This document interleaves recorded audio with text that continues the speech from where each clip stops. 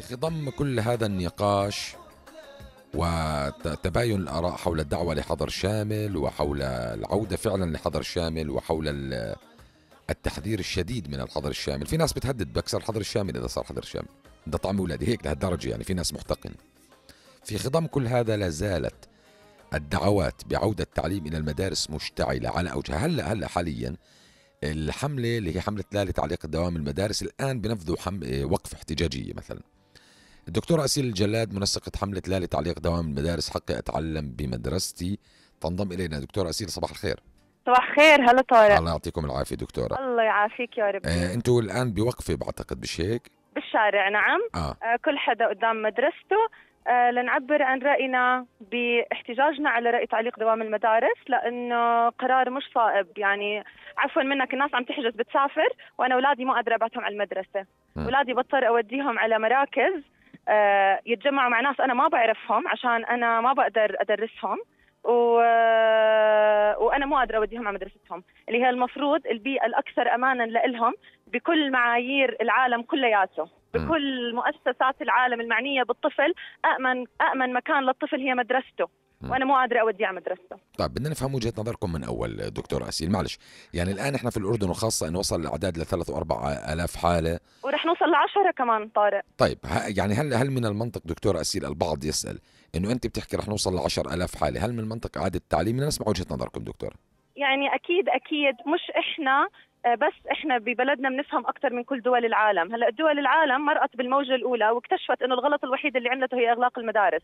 بدليل لما مرت عم بتمر بالموجة الثانية اللي هي المفروض أسوأ وأصعب الشيء الوحيد اللي أبقته فاتح هو المدارس. ليه؟ لأنه كل الدراسات العالمية أثبتت إنه المدارس لا تشكل بؤرة لنقل العدوى ولكن التجمعات الدينية المولات المطاعم آه، النوادي الرياضية آه، مقرات الانتخابات هذول مش مش بؤر لنقل العدوى.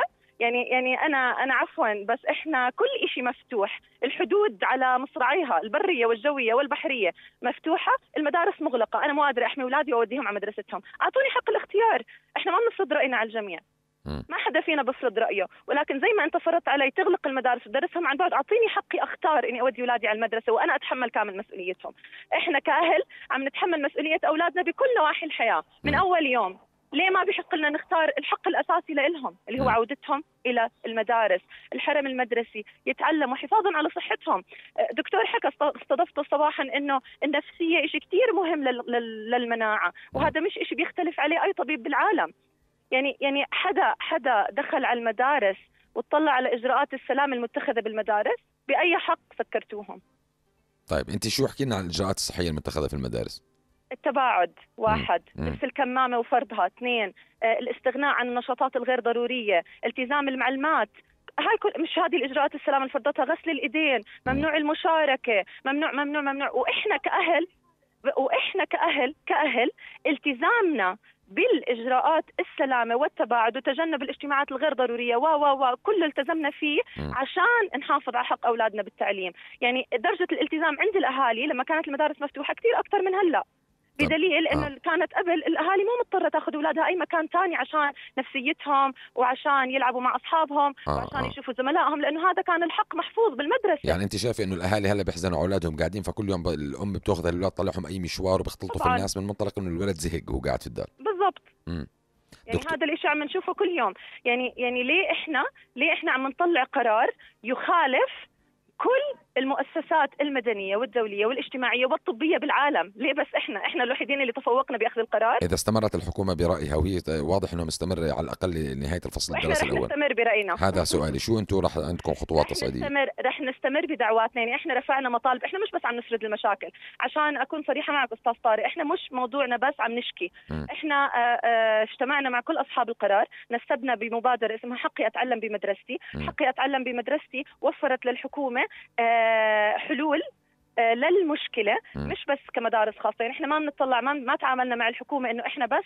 رواد مدارس خاصة وبنتعامل بطريقة مختلفة عن عن المدارس الحكومية. إحنا نسبنا بحلول آه، تحل المشكلة لكل المدارس. يعني المدارس الخاصة اللي قادرة توفر سبل التباعد كيف تداوم. المدارس الخاصة اللي أصغر حجما ومو قادرة توفر سبل التباعد كيف تداوم. المدارس الحكومية. يعني في كثير طرق. كل العالم اتجه للهايبريد ال blended learning. ليه إحنا ما نعمل هذا الحكي؟ يوم أو يومين بالأسبوع يروحوا على المدرسة هل هذا رح يضر فيهم؟ وصلت رسالتك دكتور أسيل جلاد وإحنا مستمرين إن شاء الله معكم أول بأول نشوف لو يعني نتوصل بتمنى بعرف إنه أنتوا أنتوا ما بتوافقون الرأي بس بتمنى توصلوا صوتنا. أكيد أكيد. هذا اختلاف اختلاف الآراء لا يفسد للود قضية. كل الاحترام في خطط آه. بالضبط في خطط. وزير التربية نفسه عنده خطط. ليه ما في استجابة؟ ليه ما حدا عم بيسمعنا؟ بس هذا السؤال مين صاحب القرار؟ أنا بس من طريق عن طريقك. بحب بس أوجه إنه رجاء بس نعرف من هو صاحب القرار بدنا إحنا نجلس مع صاحب القرار أو أصحاب القرار على طاولة واحدة عشان نعرف من هو المسؤول عن قرار إغلاق المدارس بس حرمان أولادنا من دكتور حقهم الأساسي. أسيل حضرتك بتعرفي إنه أنتم في ناس بالمجتمع الأردني وأولياء أمور برضه رافضين موضوع ال- الذهاب أولادهم أعطونا حق الاختيار آه. إحنا ما عم نفرض رأينا أعطيني حق الاختيار لأنه كمدارس تقدر توفر اللي خايف مم. المدارس الخاصة عندها منصات إلكترونية منصة درسك اللي هي المفروض قائمة مم. بالمهمة موجودة طيب. فالحلين موجودين طيب اللي بده اسمحي لي اسمحي لي دكتورة. اسيل اسمحي لي دكتورة اسيل بنفس اذا خليكي معنا دكتورة اسيل إذا سمحتي لي اذا دكتورة اسيل الجلاد هي منسقة حملة لا لتعليق الدوام في المدارس حقي أتعلم بمدرستي بنفس القوة اللي كنا نحكي فيها جدل حظر مش حظر 3000 حالة انهيار المنظومة الصحية هذول الجماعة قاعدين بيدعوا لعودة التعليم. الصحفية آه، عبيدة عبده الزميلة الصحفية عبيدة عبده كتبت شيء على صفحتها بما معناه إنه أنا بشوف كعبيدة عبده كصحفية وكأم أيضا إنه قرار تعليق الدوام الوجاهي في المدارس قرار صائب وما في داعي هلأ للجدل البيزنطي. اسمحي لي دكتور اسيل إن نستضيف آه، الزميلة عبيدة عبده. عبيدة صباح الخير.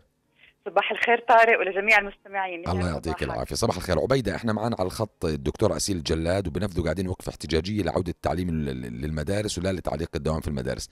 أنا حاب أسمع وجهة نظرك في هذا الموضوع. يسعد صباحك ويسعد صباح الدكتورة أسيل ويعني أنا أحترم آه جميع وجهات النظر والرؤية ال- أولياء الأمور أو أصحاب الحملات لموضوع آه ال- ال- التعليم المدارس. نحن آه يعني مع احترامي لرأي للرأي الآخر. لكن نحن وصلنا لمرحلة انتشار الوباء أصبح خطر جدا علينا وعلى أطفالنا مم. يعني لم نعد نتخيل كأولياء أمور أنا كمان عندي آه، ابني في المدرسة مم. لم أعد أتخيل أنه ممكن أرسل للمدرسة ممكن أن يصاب بفيروس كورونا وممكن يرجع يعدينا وي- وينقل العدوى لكثير من الناس لأصدقائه وتنتشر الأمور بشكل وبائي مم. يعني مش قادرة أفهم لغاية الآن ما هي الحكمة من أنه نرسل أبنائنا إلى المدارس وإحنا بنعرف أنه موضوع السيطرة على أطفالنا خصوصا كل ما كانوا صغار لا يمكن السيطرة عليهم إحنا على كبار مش عارفين نسيطر عشان نسيطر على الصغار ممكن أنا بالضبط يعني. أتدخل يلا يلا يعني أنا مش فاهمة وين وين ممكن آه. إنه نوصل نحن لمرحلة انت عم انتشار الوباء أصبح آه، آه، واصلين للخط الأحمر أو المرحلة مم. الحمراء كيف بدنا نبعث أولادنا آه، للمدارس وممكن آه، شخص واحد مصاب أو مخالط جاي من أسرته يعدي الجميع وينتقل إلى جميع من في المدارس م- من م- الكوادر بنسمع- بنسمع التدريسية كويس إلى. الأطفال. وممكن نوصل مم. لمرحلة يعني انهيار التعليم وانهيار مش بس القطاع الصحي وانهيار التعليم بشكل تام. طيب نسمع الدكتورة أسيل اسمحي لي عبيدة. دكتورة. هلا هو انهيار التعليم هاي صدقتي فيها التعليم انهار اوريدي وخلص. يعني بالوضع اللي إحنا بالوضع اللي إحنا. فيه أنا بجاوبك أنا بجاوبك معطيات ومعايير وين انهيار التعليم انهيار التعليم لما يكون عندك 400 ألف طفل أردني ما عنده أكسس لوسيلة من وسائل التعليم أنا بعتبره هذا انهيار مم. إذا إذا في إذا في أكثر من هيك آه، فإذا يعني إذا في تبرير أكثر وين من هيك الحل آه، معناته. ناخذ أولادنا على المدارس بعدين هلا- هلا بتعرفي- لا سمح الله حالات لا وفاه بس بدي. أحكي لك لا بتعرفي أنا الطفل كولية أمر لما اخسر ابني أو بنتي هلا إذا أولياء الأمور قاعدين بالبيت وما عم بيطلعوا وما عم بيختلطوا أنا أوافقك الرأي تماما. ولكن بتعرفي إن أولياء الأمور قدرتهم على نقل العدوى خمس أضعاف طفلك. بتعرفي انه الطفل لطفل نقل العدوى آه، تكاد تكون غير واردة أو قليلة جدا. وهذا مش يعني غير عندي وارد الحكي هون يعني بدي أفهم كيف إنها طيب، غير واردة ما المدارس الأطفال. المدارس داومت شهر. هل هناك حالات عدوى بين الأطفال داخل المدارس؟ أنا بجاوبك انتشار للحالات طبعا مدارس من التربية، المدارس لا. الخاصة والمدارس الحكومية ما. في ما في ضمانات أعطيني الطلاب.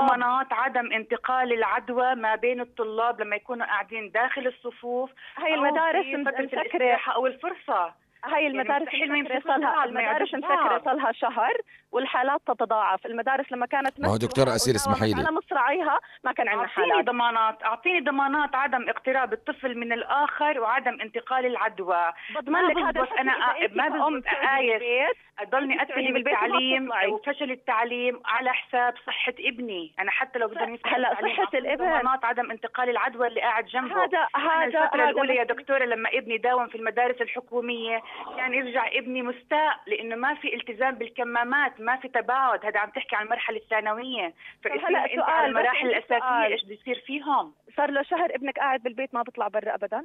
على فكرة ما للمعلومة تطلعي برا بحب أحكي أبداً. أنا عبر هذا المنبر آه، آه، دكتورة وزميلي طارق مم. اللي بالنسبة للانتقادات اللي للأسف الشاسعة على موضوع منصة درسك مم. يعني أنا ابني بصراحة بحب أحكي لكم وبوجه كلمة حق من هالمنبر إنه استفاد كثيرا من خلال التعليم عن بعد صرت أشوفه ملتزم عم بشوفه إنه عن بعد على المنصة بتابع عم بقدم امتحاناته الموضوع مش بهالطريقة الكارثية ليش إحنا عم نحاول دائما نشوه أي مجهود يعني لا هي هي وجهات نظر هي يعني وجهات نظر هو ما بزبط. أعطيني طيب طيب عشان نوضح. النقاش. جمل هلا جملة واحدة جملة واحدة دكتورة انتقال أسيل. العدوى ما بين أنا- الأطفال. أنا طيب راجع لك جملة واحدة بالنسبة- دكتورة أسيل. أنا بالنسبة. لإلي كأم. حياة ابني الاجتماعية وصحته النفسية وصحته العقلية وصحته الجسدية آه. هي اولا. طيب، ولذلك كويس. أطالب برجعته ب- للمدرسة. ب- عبيدة جملة أخيرة. آه، بالنهاية أنا بطالب طالما أنه لا يوجد هناك أي ضمانات للحماية الصحية لأولادنا. آه، فلذات أكبادنا داخل المدارس في موضوع التباعد وعدم انتقاء واحتمالية تس- 100% انتقال العدوى أنا ما زلت أصر على موضوع التعليم عن بعد. مم. بدنا نتحمل هاي الفترة لأنها أزمة ما بزبط. نقعد نقول ننظر نفوت بجدال آه، لا- آه، لا يطعم ولا يسمن من جوع. كل الاحترام. التعليم عن بعد في هذه الفترة إلا أن تعدي هذه الأزمة. على خير وتكون هناك جاهزية أو خطط بلان في وزارة التربية والتعليم. في طريقة توزيع المنصات والأجهزة بشكل أكبر على مستوى المحافظات وبنعرف أنه في قرى عم بتعاني بنعرف أنه في محافظات عم بتعاني من موضوع ضعف إمكانيات التكنولوجيا كل الاحترام نتحمل هاي مم. الفترة إن قلنا آه أو قلنا لأ لأنه أطفالنا آه، يعني آه، آه، بنتحمل مسؤوليتهم في رقابنا ما بنقدر نقايس عليهم بفيروس ممكن بعد 14 يوم ألاقيه مش عندي. صح. كلامك صح. عبيدة عبده كل الاحترام. الصحفية الزميلة عبيدة عبده وكل الاحترام للدكتور أسيل الجلاد منسقة حملة لا لتعليق دوام المدارس. شكرا لكما. التعليق لكم إخواني أخواتي سمعتوا وجهتين النظر. مع الحدث مع طارق حامد. عمزاج أحلى إذاعة.